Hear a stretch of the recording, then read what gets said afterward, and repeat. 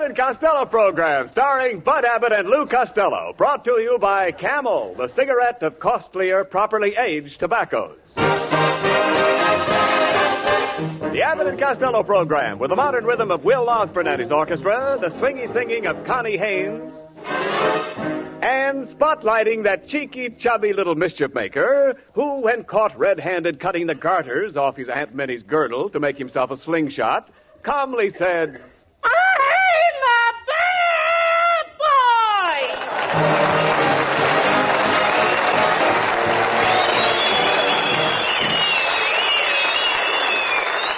I'll say you're a bad boy, Costello. What's the idea of coming here late? The first broadcast of our new season. You're supposed to make a speech of welcome to our listeners. Uh, by the way, do you know how to make a speech? Oh, sure, I know how to make a speech. Oh, you do? Sure. Watch me. Go ahead. Ladies and gentlemen. Oh, Costello, they know they're ladies and gentlemen. I know, but it's nice to remind them of it every once in a while. Never mind that. Go ahead with your speech. Oh, yeah. Yes. All right.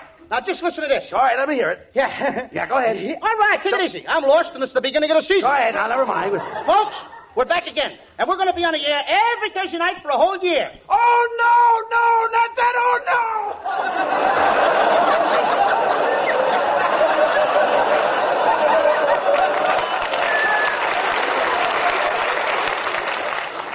I think we just lost a listener. All right, never mind that, Costello. Why weren't you here for rehearsal this afternoon? Where were you? Oh, Abbott, my family gave me a welcome home party this afternoon. They did? Hey, did we have fun? My Uncle Artie Stebbins, he drank two cups of tea and passed out cold. Now, that's ridiculous. How could a man pass out from drinking two cups of tea? This was DDT. You, you dummy, DDT is not a beverage. It's made strictly for vermin. That's right. We made enough for everybody men, vermin, and children. Ah, never mind about that. You should. You know, you should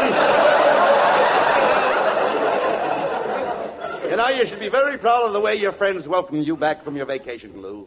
I saw big signs all over your neighborhood. Oh, sure. Welcome home, our hero, Lou Costello. We love you, Lou Costello. America's ace of the airways, Lou Costello. Yeah, but Abbott. What's matter? oh, but those signs embarrassed me terribly. Why should those signs embarrass you? They caught me nailing them up. Oh, come on. You're impossible. Never mind that. Look, tell me about your trip back east. How, how did you like New York? Oh, Abbott, New York's a wonderful place. You think the so? people there are so friendly. They are. The minute you get off the train, they grab you and they smother you with kisses. they do? Yeah. Then they take you for a ride in a taxi. They hug and they kiss you. And then they take you out for dinner and they buy you champagne. And then they take you for a moonlight ride in Central Park. And then they hug you and they kiss you some more.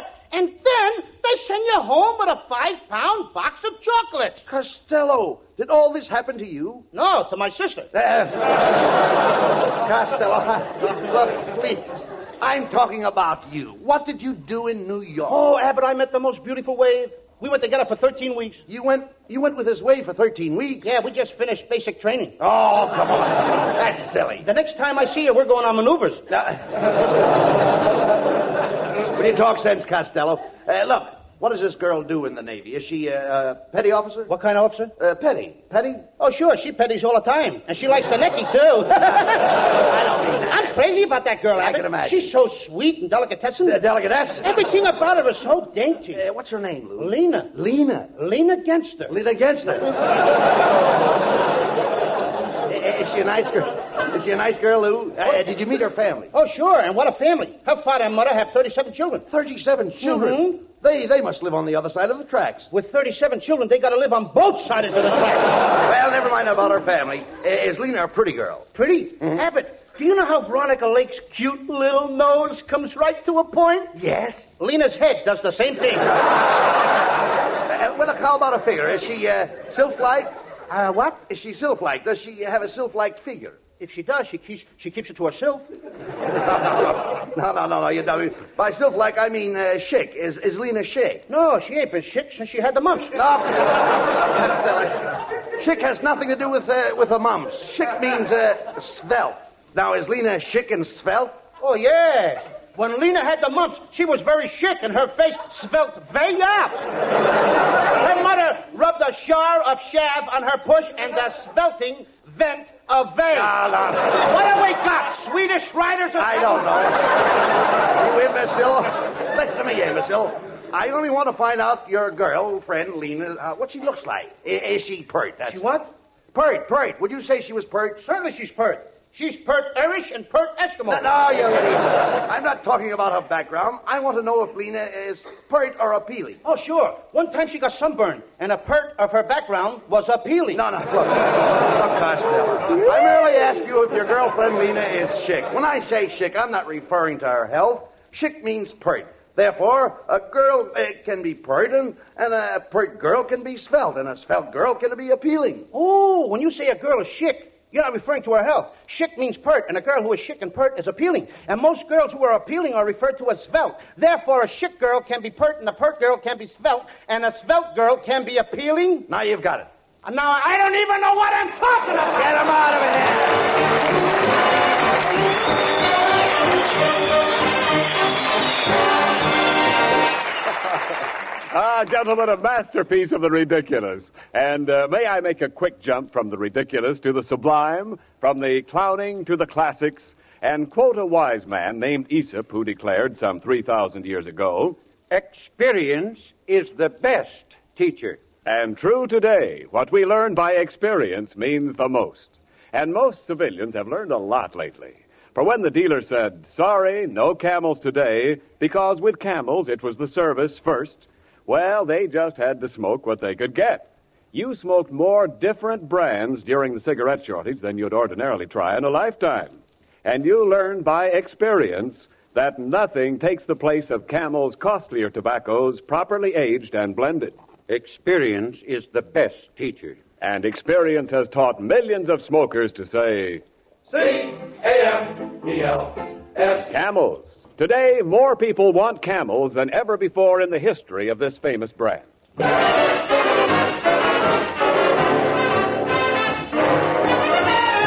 now here's Will Osborne and the orchestra with one of your favorite favorites, the Atchison, Topeka, and Santa Fe.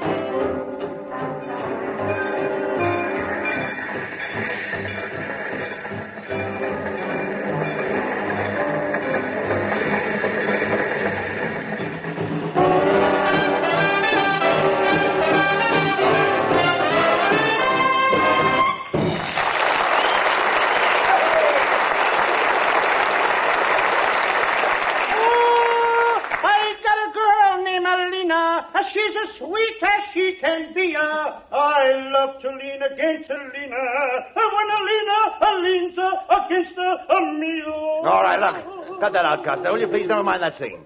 Uh, will you, look, will you forget about your girl, Lena? You're, you're here and she's in New York. I'll never forget Lena Abbott. Ah. Gee, I remember the last night her and I was together. I bought a great big bag of gumdrops. Red ones for Lena and black ones for me. Red gumdrops for Lena and black ones for you? Yeah, we sat on a bench in the park eating them gumdrops. Then it got dark and I lit a lantern. You jerk, you mean you were sitting on a bench with a beautiful girl at night and you lit a lantern? Yeah. Why? It was so dark I couldn't tell the red gumdrops from the black ones.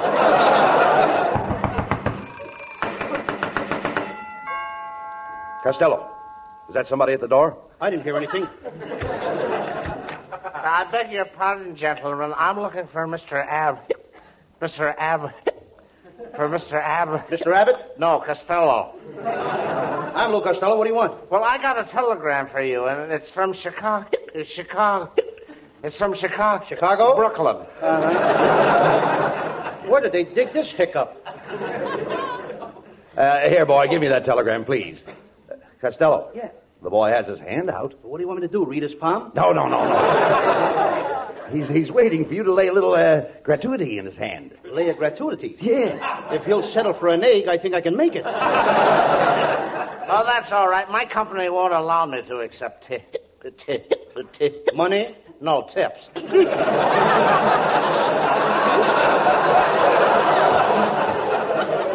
You see, the telegraph company pays me very well as it is.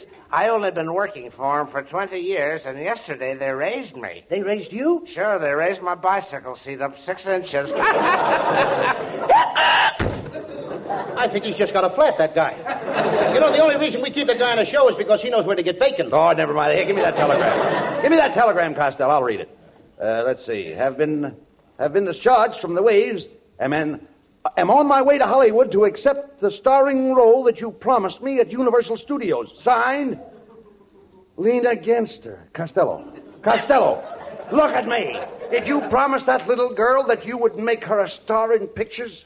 Abbott, I had to. You had to. The only manly thing to do. It all happened tonight. I bought her a bag of gumdrops. It was so romantic. Every time we reached for a gumdrop, our fingers would meet inside the sack. Then, quite by accident, I kissed her. Oh, how could you kiss her by accident? We were both chewing on the same gumdrop, and I ate half my half. You imbecile. You didn't have to promise her a starring part in pictures just because you kissed her. That's not all I did. What? I, as I was pulling away, the gumdrop snapped and bent her pivot tooth. Well, you're certainly in a mess, Costello. How are you going to get an unknown girl a starring part in pictures? Ah, Abbott, I thought maybe you could help me. I can help you. I can. Wait a minute. Hey, wait a minute. There's a man here tonight who happens to be the world's greatest motion picture producer. Ah, good evening, gentlemen. I am Professor Melonhead. Better known around the studios as uh, Cecil B. D. Melonhead. Melonhead? Hey, Abbott, get a load of that skull. His head looks more like Nagasaki after it was hit by the atomic bomb. Young man, don't you scoff at my cranium. I'll have you know there's plenty inside of my head. There should be. There's nothing on the outside. Melonhead, I know how you can make a lot of money. How? Rent your head out as a skating rink for flies. Oh, now, now, Costello. Suppose my head is round and shiny. Surely you've seen things like this before. Yeah, but they all had handles on them. Oh. Quiet, Costello, please. Professor, do you think you could advise Costello how to get his girl a starring role in pictures? Certainly, Abbott. Now, Costello, first I'll have to know something about your girl. Is she photogenic? No, she's part Irish and part Eskimo. Oh, I see. She's chic. Now, I'm not speaking of her extraction. I'm merely inquiring about her physiognomy. Her what? Her physiognomy. Does she have a smooth physiognomy? Gentlemen, don't discuss those things outside of barrooms.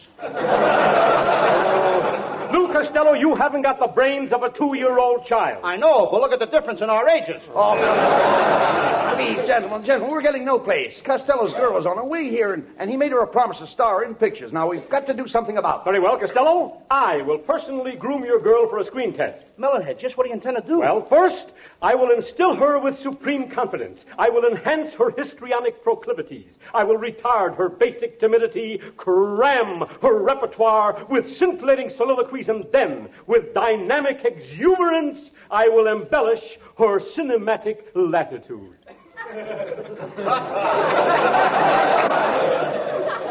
you wouldn't dare. you haven't got the nerve. Oh, nonsense. Costello, I've never been so humiliated in my life. I'm ashamed to have people see me walk out of here after conversing with an imbecile like you, Mr. Rabbit. Isn't there some way I can sneak out of here without being seen? Look, Melonhead, if that's the way you feel about it, you can go out this window and down our fire escape. Thank you. Open the window. Good night, gentlemen.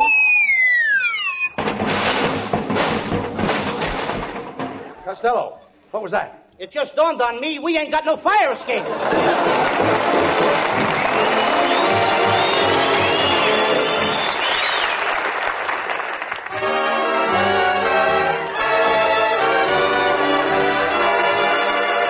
Lovely Connie Haynes is back with us again this year, and we know that's a real treat for our Camel audience. Connie sings, I'll Buy That Dream.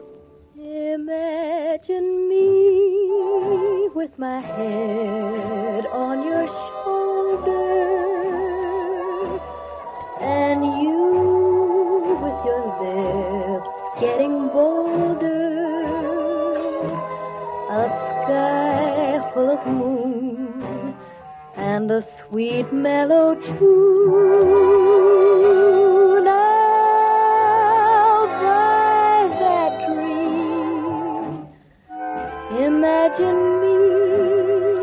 Gown, white and flowery, and you thanking Dad for my dowry. A church full of folks and those last minute jokes. Oh, I'll buy that dream, a honeymoon in Cairo in a brand new order gyro, then home by rocket in a wing. We'll settle down near Dallas in a little plastic palace. It's not as crazy as you think. Imagine me on a first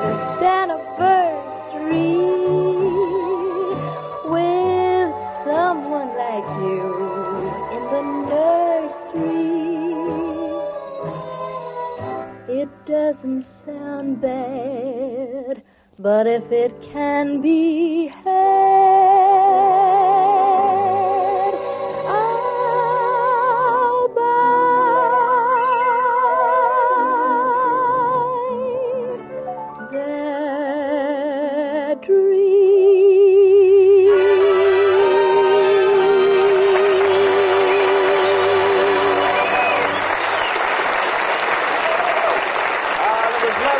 lovely, lovely.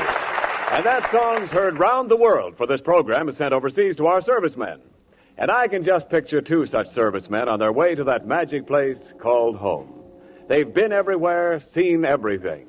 And now they're seeing the Statue of Liberty and the skyline they haven't seen in years. Boy, does that look good. Gosh, you never know how much you've missed something until you've had to do without it. Yes, it takes the experience of doing without to make us really appreciate things we're apt to take for granted. Proving again that experience is the best teacher. Not only in the big things, but in little things too. Cigarettes, for instance. Most of us today have had more experience with smoking different brands than we'd usually have in a lifetime. During the shortage, we had to smoke whatever we could get. And although production was at an all time high, the volume of demand for them made them seem to be the scarcest of the scarce. And did experience teach us that there's simply no substitute for Camel's costlier tobaccos and proper aging? It certainly did. For today, more people want Camels than ever before in the history of the brand. Yes, as old Aesop said, Experience is the best teacher. Camels, the cigarette of costlier tobaccos.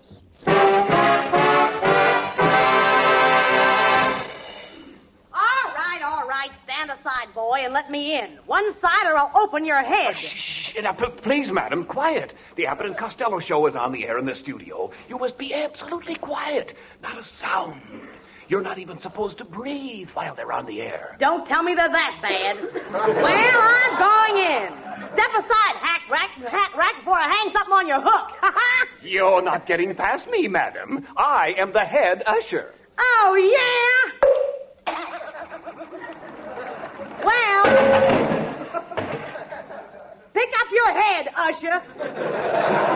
What's going on here? Wait a minute. What is all this commotion, madam? Boy, I'm looking for the owner of the NBC network, Mr. Lou Costello. Just tell him. you may tell him that Lena Genster is here. Uh-oh. Uh, uh, w- w- wait here just just a minute, Miss uh, Genster. Don't, don't go away, will you please? Uh, just a minute. I'll be right back. I'll be right back. Costello. Costello. What? Costello. Yeah? Uh, who do you think is here? Who? It's Lena Genster. Oh, good. That's. What? Yes. well, Lena Genster. Hey, You damn it. What? Open the window. I'm going down the fire escape. Costello, we have no fire escape. I'll make one. No, no, no, no, no, no. Costello, Costello, come here. Uh, did you tell uh, Lena Genster that you own the NBC network? I had to, Abbott. When did you tell her that? Uh, the night you had the gumdrops? No, that was the night we made fudge. Stella, you idiot. First you told Lena you'd star in pictures. Then you told her you own the N- NBC network. I uh, hope you didn't tell her you were the mayor of Los Angeles. Abbott, you know I wouldn't do that. No. I'm not that dumb. You're not that dumb. I've had enough of this horsing around. I demand to see Senator Lou Costello. Senator! Senator! Abbott, that must have been the night we pulled Taffy. ah, ah, there you are, Fatso. Come here to Mama and give her a great big kiss. All right, now put me down! Well, Bubble Nose, let's call Universal Studios and tell them the new star has arrived. We'll go right over. Go on, Costello. Get them on the phone. Hey, Abbott, what's the studio's phone number? Get him. He owns the studio and he doesn't even know the phone number. Costello, you told her you own the studio? Oh, sure, I'll own it any day now. President Blumberg of Universal practically promised it to me. He promised it to you? Yeah, he said, Costello, one more picture like the last one and I'm going to give you the business. Come on, Fatso. Jump over that last egg and let's get out of the studio. I'm ready to star in my first picture.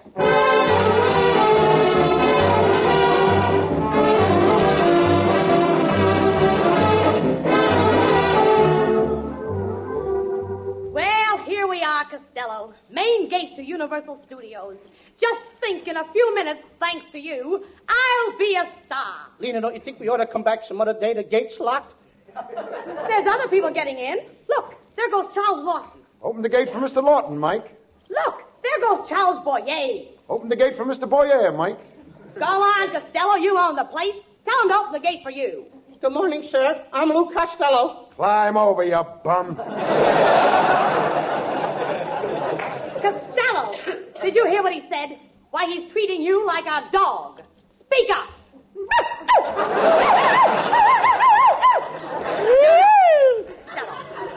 Costello, talk to the man. Show him you're the boss. Okay. Hey, you.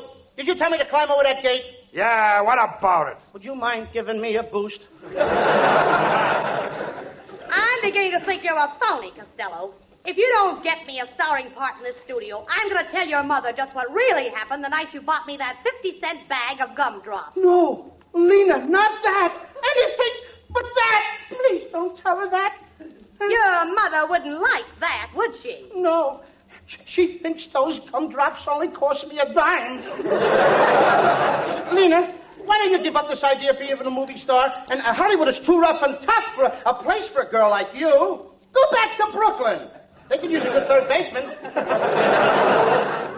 Listen, egghead, if you don't get me that starring part, I'm going to bend your nose down till it touches your knee. I'll stick hatpins in your eyeballs. Then I'll get a hot iron and solder your ears together. and if that doesn't work, I'll torture you. Lena, I was only kidding. Come on in here. We'll see my director friend, Gregory Ratbiscuit. He'll do anything for a friend of mine. There's Mr. Ratbiscuit's secretary. Hey, you. Well, what is it? Hmm? I said, what is it? I give up. What is it?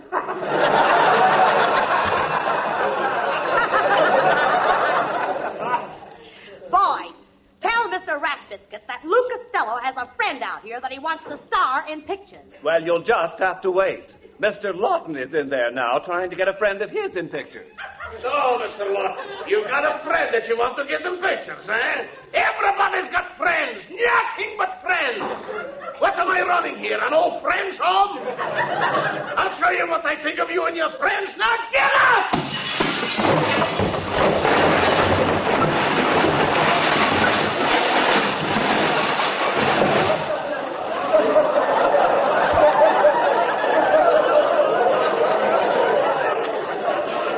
Now, if anybody else brings a friend in here, I'll smash them to pieces. I'll jump up and down on them. I'll tear them to bits. Well, Costello, I suppose you have a friend. No, sir, not me. I haven't got a friend in the world. Everybody hates me. I'm all alone. What about this young woman? Oh, I never saw her before in all my life. Hmm, what a beautiful creature. What a gorgeous specimen of poultry. Poached. Spring is busting out all over. Come, pretty one, come into my office. I want to discuss your possibility. Oh, Mr. Rat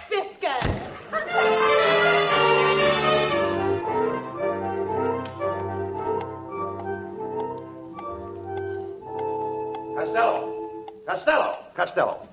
Why did you run off without me? Well, what have you done with Lena? She's been in the office with Mr. Rat Biscuit. Huh? Whew, that must have been a. Oh, boy. She's been in there since 3 o'clock, Abbott. I don't know what to do. Ah, you that must dumb- be a terrific audition. Now, wait a minute. you know Rat Biscuit is a ladies' man. Now, do you want him to steal your girl? Go in there and get Lena. I'm afraid, Abbott. Rat Biscuit was in a terrible temper. I think he's mad at me. You coward, go in there and get Lena. Okay.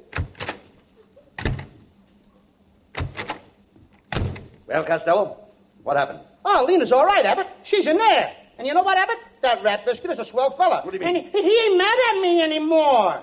Look, he even gave me a quarter. He gave you a quarter. What for? Well, he wants me to go downtown and get him a bag of gumdrops. Uh, Get him out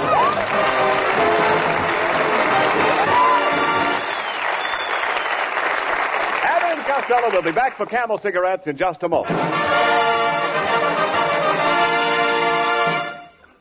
And now, this week's salute in the new series of salutes to the men who won the victory. Tonight we salute those heroic men who wear the yellow and blue patch with the green cactus on their shoulder.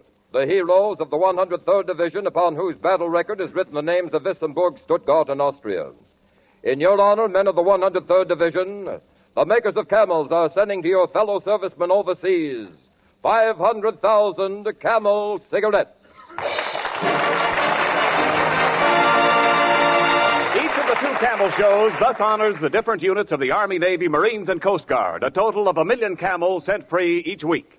Camel broadcasts go out to the United States twice a week, are rebroadcast to practically every area in the world where our men are stationed, and in cooperation with the Good Neighbor Policy, also to Central and South America. Listen again next Thursday to Abbott and Costello. And now here are Bud and Lou with the final word. Well, Costello, it's nice to be back on the air with all our old friends. You know, I hope they've all got their radios tuned into our show tonight. Well, Abbott, I know of one little radio that's tuned in down on the Lower East Side of New York, and that's at the bedside of a little pal of mine, little Johnny Stack. Come on, Johnny, get well quick. Get well for Abbott and I. I know the radio audience won't mind that we dedicated our opening show to you, Johnny. So good luck, kid. Come Get on, well. Johnny. Get well, Johnny. Good night, folks. Good night to everybody. Good night, Johnny.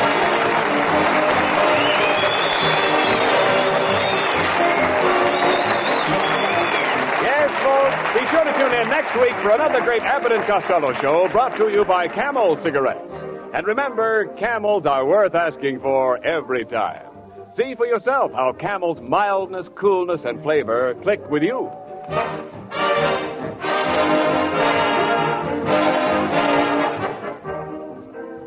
There's many a type of pipe in the world, and they give out with many different sorts of sound. For instance, take a Navy bosun's pipe, or the pipes in an organ,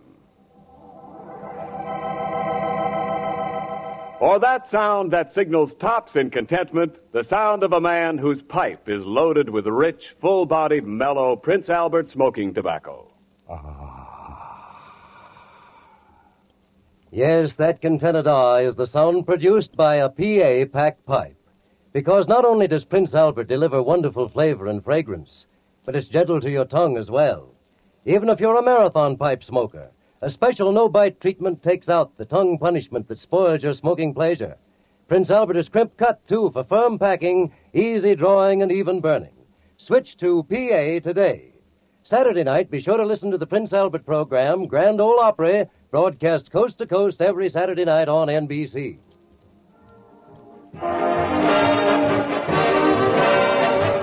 The Abbott and Costello Show for Camel Cigarettes will be back at this very same time next week. Don't miss it. This is Ken Niles in Hollywood wishing you all a pleasant good night. This is the National Broadcasting Company.